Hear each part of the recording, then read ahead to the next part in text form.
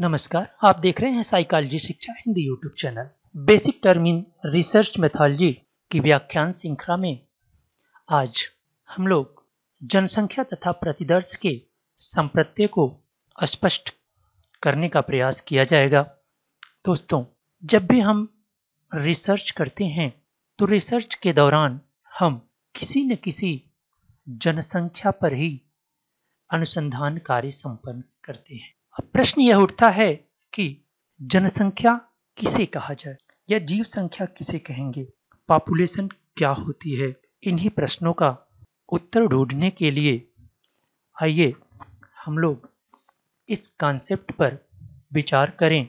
जनसंख्या या यूनिवर्स एक ऐसा समूह होता है जिस पर हम अपना रिसर्च करते हैं। Total number of respondents which we want to study यानी कि वह टोटल समूह या वह टोटल प्रयोज जिस पर हम अध्ययन करना चाहते हैं, वे सभी पॉपुलेशन कहलाते हैं। यानी कि उत्तरदाताओं की कुल संख्या जो हम अध्ययन करना चाहते हैं यूनिवर्स कहलाता है। आइए इसे एक उदाहरण द्वारा समझें। जैसा कि वर्तमान समय में पूरे देश में लॉकडाउन की स्थिति बनी हुई है उसके कारण अनेक मानसिक समस्याएँ भी देखने को मिल रही हैं, जिसमें महिला और पुरुषों में डिप्रेशन की समस्या सामने आ रही है। इसी समस्या को ध्यान में रखते हुए अगर हम शोध समस्या बनाएँ कि लॉकडाउन के दौरान पूर्वांचल विश्वविद्यालय के समस्त एडेड महाविद्यालयों में कार्यरत शिक्षक शिक्षिकाओं के मानसिक स्वास्थ्य का अध्ययन, यह एक शोध समस्या है, जिसमें हम एक लंबे लॉकडाउन के दौरान शिक्षक शिक्षिकाओं के मानसिक स्वास्थ्य का अध्ययन करना चाहते हैं। अब इसके लिए हमें सबसे पहले जो आंकड़े इकट्ठा करने होंगे, पूर्वांचल विश्वविद्यालय के सभी एडिड महाविद्यालयों की संख्या, अगर हम एक बार मान लें, अनुमानित संख्या तीस होगी और उन तीस महाविद्यालयों में औसत शिक्षकों की संख्या का अनुमान 35 मान लिया जाए तो पूर्वांचल यूनिवर्सिटी में समस्त एडेड महाविद्यालयों में कुल 1050 शिक्षक शिक्षिका होंगे। अब हमारी समस्या ये थी, हमारा शोध प्रश्न यह था कि पूर्वांचल यूनिवर्सिटी के समस्त एडेड महाविद्यालयों के शिक्षक शिक्षिकाओं के मानसिक स्वास्थ्य का अध्ययन, किन परिस्थितियों में? लॉकडाउन की परिस्थितियों में। अब यहाँ पर पूरी तरह से यह डिफाइन हो जाता है, यह परिभाषित हो जाता है कि टोटल नंबर ऑफ़ रिस्पोंडेंट यानी कि ऐसा समूह जिस पर हम अध्ययन करना चाहते हैं, ऐसा कुल समूह जिस पर हम अध्ययन करना चाहते हैं, उनकी संख्या कुल 1050 है। इसे ही हम पॉपुलेशन या जनसंख्या कहेंगे या जीव संख्या कहेंगे। जीव संख्या स्पष्ट हो जाने के पश्चात हम जीव संख्या के प्रकारों की बात करें तो जीव संख्या के दो मुख्य प्रकार प्रचलित हैं। एक को कहा जाता है फाइनिट पॉपुलेशन दूसरा इनफाइनाइट पॉपुलेशन यानी कि परिमित जनसंख्या और अपरिमित जनसंख्या। जैसा कि इसके नाम से भी आप समझ सकते हैं। परिमित जिसको गिना जा सके, अपरिमित जिसको गिना न जा सके। परिमित जनसंख्या exact number of respondents in the population is known स्पष्ट है कि किसी भी जनसंख्या का वह रिस्पोंडेंट या किसी भी जनसंख्या के उन प्रयोज्यों की संख्या जिसे हम गिन सकते हैं, वह फाइनाइट पॉपुलेशन होता है, परिमित जनसंख्या होता है। अर्थात यह क्या होता है? काउंटेबल होता है। गिनने योग्य होता है। उदाहरण के तौर पर, अभी हमने जो उदाहरण लिया था, विश्वविद्यालय के समस्त एडेड महाविद्यालयों में कुल 1050 शिक्षक शिक्षिका कार्यरत हैं। वह एक फाइनाइट पॉपुलेशन है।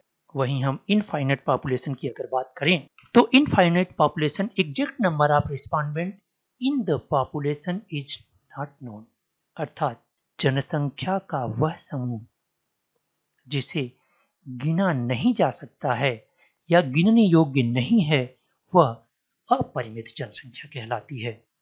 अर्थात यह अन नॉन काउंटेबल होती है, जिसे हम गिना नहीं जा सकता। इसका उदाहरण अगर इसी उदाहरण के साथ जोड़कर हम लोग देखें। तो अगर आपका अध्ययन यह है कि भारत में समस्त महाविद्यालयों में कार्यरत शिक्षक, शिक्षिकाओं के मानसिक स्वास्थ्य का अध्ययन तो अवश्य ही यह इन फाइनाइट पॉपुलेशन का उदाहरण होगा, क्योंकि भारत के सभी महाविद्यालयों के शिक्षक, शिक्षिकाओं का गणना करना काफ़ी जटिल है। अर्थात इसे गिना नहीं जा सकता काउंटेबल नहीं है। इसलिए यह अपरिमित जनसंख्या का उदाहरण होगा। जनसंख्या के संप्रत्यय को स्पष्ट करने के पश्चात हम दूसरे संप्रत्यय पर विचार करते हैं, जिसे प्रतिदर्श अथवा सैंपल कहा जाता है।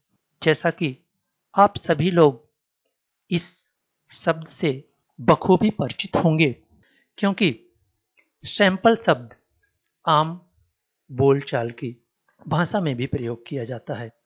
लेकिन जब हम शोध की बात करते हैं, अनुसंधान की बात करते हैं, या रिसर्च की टर्मिनोलॉजी की बात करते हैं तो अवश्य ही यहाँ पर इसकी जो परिभाषा होगी, वह a number of a small group taken from a population that respondents the population perfectly is called a sample यानी कि किसी भी जनसंख्या से लिया गया वह छोटा समूह, जो जनसंख्या का पूर्ण प्रतिनिधित्व करता है, प्रतिदर्श कहलाता है।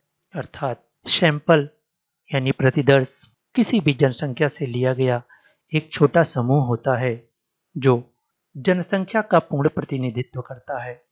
यह पूर्ण प्रतिनिधित्व का तात्पर्य है कि जनसंख्या में जो भी विशेषताएँ पाई जाती हैं, वह प्रतिदर्श में भी पाई जानी चाहिए।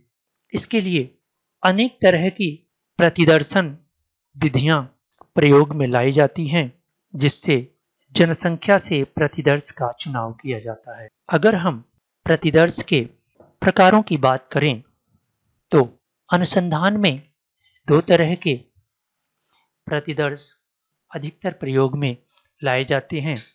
एक स्मॉल सैंपल और लार्ज सैंपल ऐसा सैंपल या ऐसा प्रतिदर्श जो जिसके रिस्पोंडेंट की संख्या 30 से कम होती है, वह स्मॉल सैंपल कहलाता है, जबकि लार्ज सैंपल अर्थात 30 से अधिक प्रयोज्यों की संख्या वाले समूह को लार्ज सैंपल कहा जाता है। सैंपल स्मॉल है या लार्ज है जनसंख्या फाइनाइट है या इनफाइनाइट है, इन सभी टर्मिनोलॉजी का जानना इसलिए भी अत्यंत आवश्यक है क्योंकि इसी के आधार पर अनुसंधान में स्टेटिस्टिकल विधियाँ प्रयोग में लाई जाती हैं। साथ ही साथ इन्हीं के आधार पर भिन्न भिन्न रिसर्च स्टेप फॉलो किए जाते हैं। इसलिए इन कॉन्सेप्ट का रिसर्च में अत्यंत ही महत्वपूर्ण स्थान है और एक रिसर्चर को इन सभी बातों का ज्ञान होना अत्यंत आवश्यक है।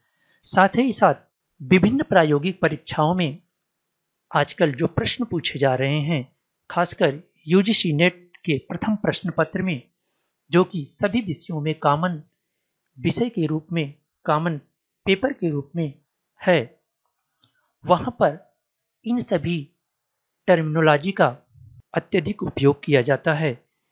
इसलिए आवश्यक है कि इन सभी संप्रत्तियों को स्पष्ट रूप से समझा जाए, ताकि उसी के अनुसार हम रिसर्च के विभिन्न संप्रत्तियों को आसानी से समझ सकें। आइए प्रतिदर्श को और भी आसानी से समझने के लिए हम पिछले उदाहरण पर बात करते हैं, जिसमें हम लोगों ने देखा कि जो हमारा रिसर्च है, जो शोध समस्या है, उसमें टोटल नंबर ऑफ़ रिस्पोंडेंट को हम पॉपुलेशन कहते हैं। पॉपुलेशन कह रहे हैं। मान लें कि किसी कारणवश या बहुत लार्ज सैंपल लार्ज पॉपुलेशन या रिस्पोंडेंट की संख्या होने के कारण हम उस पर अध्ययन नहीं करना चाहते या नहीं कर सकते हैं तो उस परिस्थिति में हम पॉपुलेशन से प्रतिचयन विधि के द्वारा सैंपल का चुनाव करते हैं।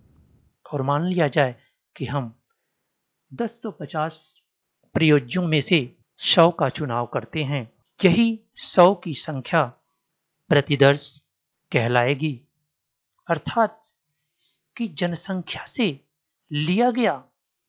वह छोटा समूह जो उन उस जनसंख्या का पूर्ण प्रतिनिधित्व कर रहा है, सैंपल कहलाता था आगे, एक और भी महत्वपूर्ण कॉन्सेप्ट पर बात करें तो पैरामीटर एंड स्टैटिस्टिक्स दो ऐसे कॉन्सेप्ट हैं, दो ऐसे संप्रत्य हैं जिनका ज्ञान होना रिसर्च में अत्यंत आवश्यक है। Parameter statistical value related to population are called parameter. यानी कि वह सांख्यिकी आंकड़े या वह सांख्यिकी गणना जो पॉपुलेशन से प्राप्त होती है, जनसंख्या से प्राप्त आंकड़ों को पैरामीटर कहते हैं। यानी कि जब हम पूरी जनसंख्या से कोई आंकड़ा निकालते हैं या कोई परिणाम निकालते हैं तो उसे पैरामीटर कहते हैं, वहीं जब हम सैंपल से कोई परिणाम निकालते हैं तो उसे स्टैटिस्टिक्स कहते हैं।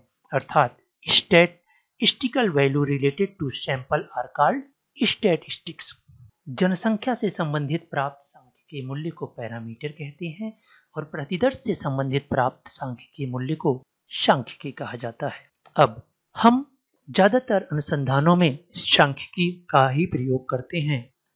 यानी कि हम पैरामीटर का प्रयोग कम करते हैं। इसके पीछे जो कारण है, वह यही है कि जो पैरामीटर होता है या जो पॉपुलेशन होता है, वह अत्यंत ही लार्ज या बड़ी एरिया होती है, जिस पर समय, श्रम और धन के अत्यधिक खर्च के कारण अनुसंधान करना संभव नहीं होता है। इसके कारण ही हम जनसंख्या से प्रतिदर्श का चुनाव करते हैं और उस पर अपना अध्ययन करते हैं। उसी को सांख्यिकी के रूप में जाना जाता है। पैरामीटर के जो परिणाम होते हैं, वो शत प्रतिशत शुद्ध होते हैं, जिसमें कोई भी त्रुटि नहीं पाई जाती है, जबकि प्रतिदर्श से प्राप्त परिणाम, अर्थात स्टैटिस्टिक्स में किसी न किसी स्तर पर त्रुटियाँ आ ही जाती हैं। आइए इसे उसी उदाहरण के आधार पर और भी स्पष्ट करें तो हम देखेंगे कि हमने जो शोध समस्या ली थी, उस शोध समस्या के आधार पर हमारे पास टोटल नंबर ऑफ़ रेस्पॉन्डेंट एक हज़ार पचास थे। यानी कि टोटल जनसंख्या एक हज़ार पचास की थी, जिसे हम जनसंख्या कह रहे थे। परंतु जनसंख्या से हमने प्रतिदर्श का चुनाव किया जिनकी संख्या सौ थी और सौ पर ही जब अध्ययन करने का निर्णय लिया गया तो वह सौ की संख्या प्रतिदर्श कहलाई। अब जो प्रतिदर्श से प्राप्त परिणाम आए, उसे स्टैटिस्टिक्स कहा गया और जो जनसंख्या से प्राप्त परिणाम आए, उसे पैरामीटर कहा गया।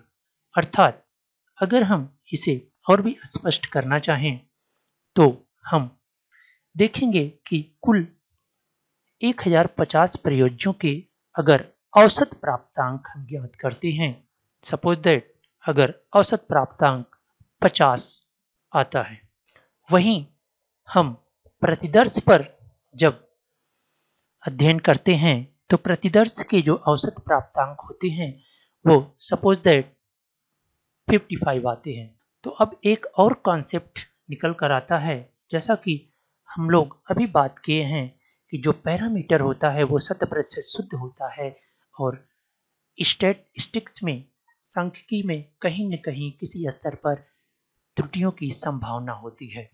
यहीं से एक और कॉन्सेप्ट उभर कर सामने आता है, जिसे कहते हैं मानक त्रुटि, अर्थात वह सूचकांक जो सांख्यिकी तथा पैरामीटर के बीच के अंतर को बतलाता है, मानक त्रुटि कहलाता है।